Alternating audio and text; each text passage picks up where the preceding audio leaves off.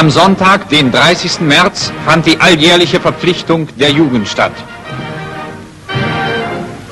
So wie hier in Berlin wurden im ganzen Reich über eine Million 14-Jährige des deutschen Jungvolkes und des Jungmädelbundes in die Hitlerjugend und in den BDM überführt.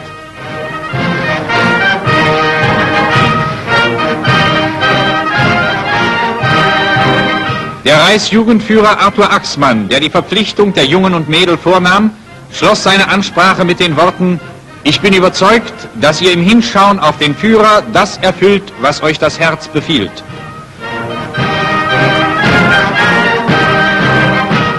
Die Jungen und Mädel geloben feierlich in der Hitlerjugend allzeit ihre Pflicht zu tun, in Liebe und Treue zum Führer und zur Fahne. Die Reichshauptstadt in Erwartung des japanischen Außenministers Matsuoka. In den Straßen Berlins drängen sich Hunderttausende, um dem japanischen Außenminister einen herzlichen Empfang zu bereiten.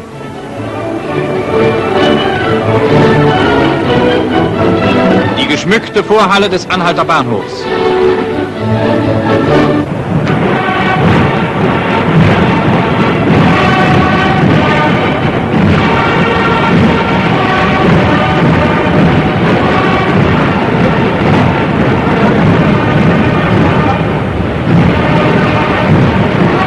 Der Reichsminister des Auswärtigen von Ribbentrop begrüßt den hohen Gast auf dem Bahnsteig. Neben dem Minister Generalfeldmarschall Keitel, der Chef des Oberkommandos der Wehrmacht, der japanische Botschafter in Berlin, General Oshima, und Berlins Gauleiter, Reichsminister Dr. Goebbels.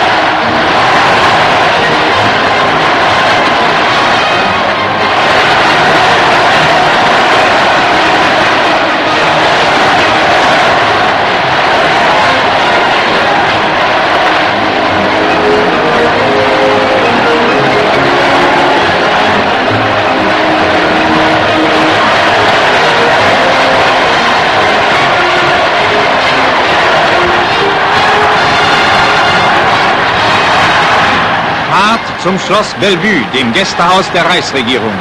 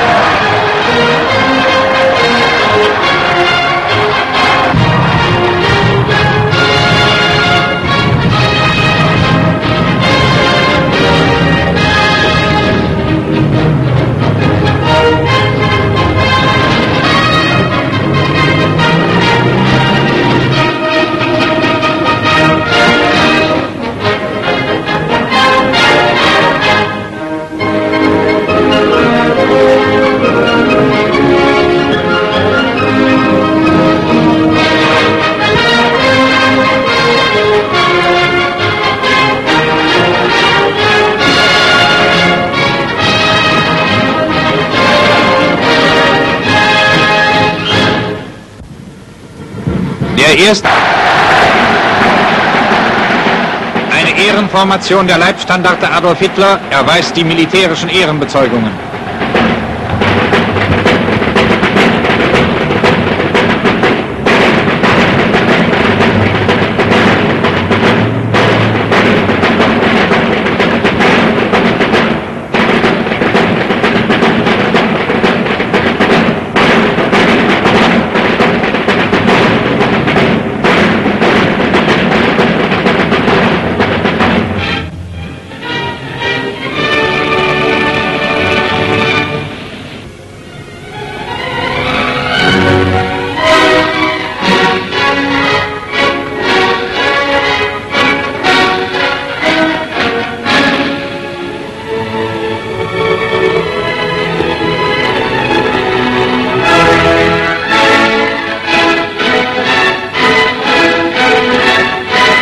Führer empfängt den japanischen Außenminister zu einer längeren Aussprache.